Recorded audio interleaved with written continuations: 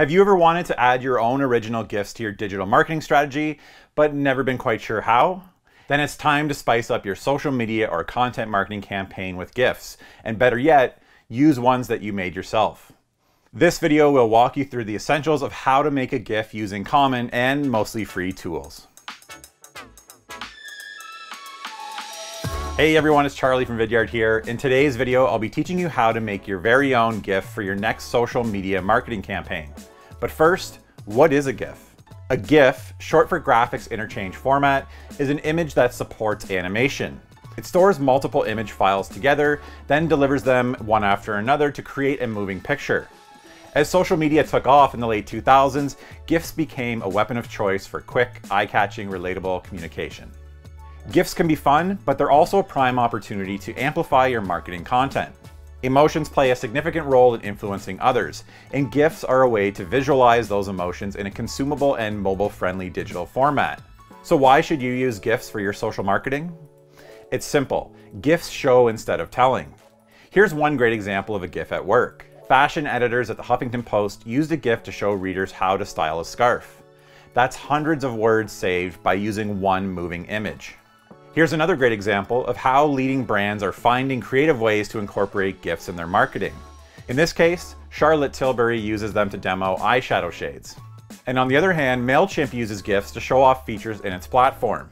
93% of marketers who use video say that it's a key part of their strategy. So why not use bite-sized videos everywhere with GIFs? It's a quick and effective way to create shareable memes and compelling digital stories for social media promotion. Okay, so let's quickly show you how to make a GIF. In this video, I'll be showing you how to make a GIF in Canva. For more walkthroughs on making GIFs with other platforms like Giphy, Photoshop, Ezgif, and Vidyard, check out the blog post in the description below. Let's get started making a GIF with Canva. All right, so here's how we go about creating a GIF in Canva. So all you need to do is start your project, head over to Upload Media, and I've got a quick little video that I've created for this. Add the video to the project. You can scale it as needed. Not to get too perfect here. Um, and then simply all you need to do is you can trim the video, of course. Let's trim to the part where I make a fool of myself here.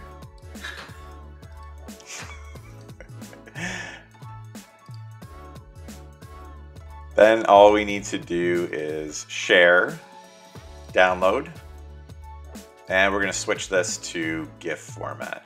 Of course, you don't get any sound with a GIF. And then that's it. Simple as that. You have your download and you've created a quick GIF. How easy was that? Not only do you know more about GIFs, but now you can make your own GIFs too. Give the gift of gifts and start creating irresistible bite sized branding pieces that your audience will enjoy and want to share. For more on how to make GIFs, check out our blog in the description below. Thank you so much for watching, and we'll see you next time.